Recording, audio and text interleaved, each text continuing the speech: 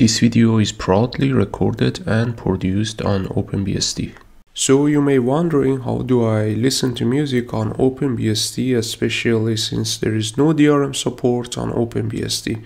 The answer is simple, I have my own music collection and that's how I do listen to music but the setup is not as simple as having all my music on my local hard drive. It's a bit more complicated than that and allow me to explain the process.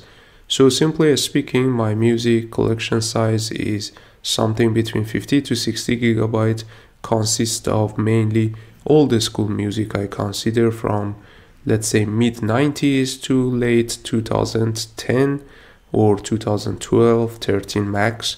And once in a while if i hear a music that i like it i will go and find a way to download it and then basically add it to my music collection simply speaking so the music are not in the local so i have a raspberry pi hooked up in my network and it has multiple functions one it acts as the plex media server so i can actually watch the movie collections that i have through my TV because my TV doesn't support Jellyfin, so I use actually Plex there, unfortunately.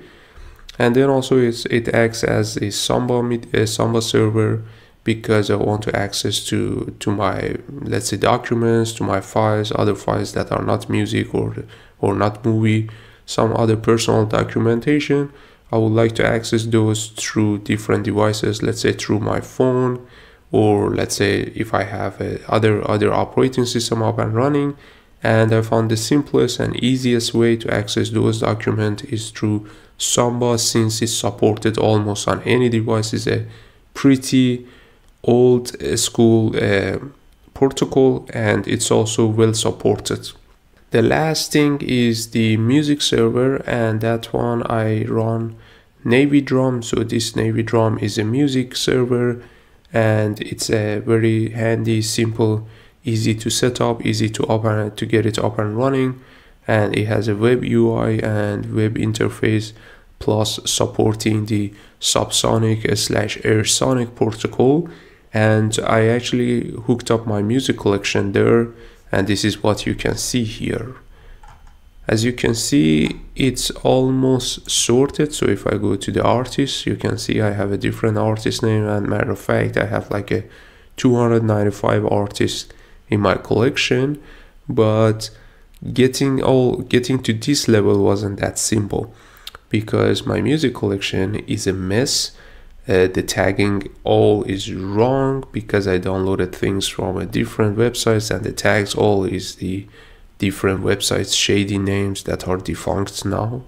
And there is nothing right in the tagging. Let's say 2% of the collection has a right tag the rest is wrong and unfortunately any modern music player doesn't operate based on the directory.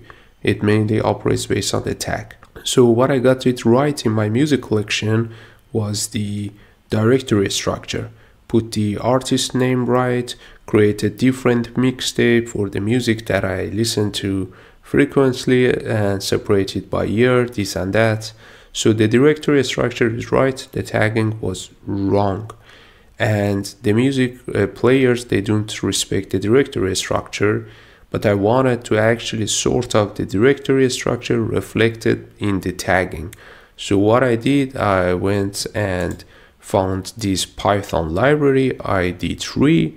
I wrote a Python code to actually go through all the music that I have, all the songs that I have, and then modify the tags, remove all the tags, all the shady website name, and instead substitute the tag, the artist field with the directory name. That's how I got the artist names right However, still the album information, the song information is missing. The good thing about Navy Drum is that it shows the actual file name and most of the file name in my actually music collection is correct.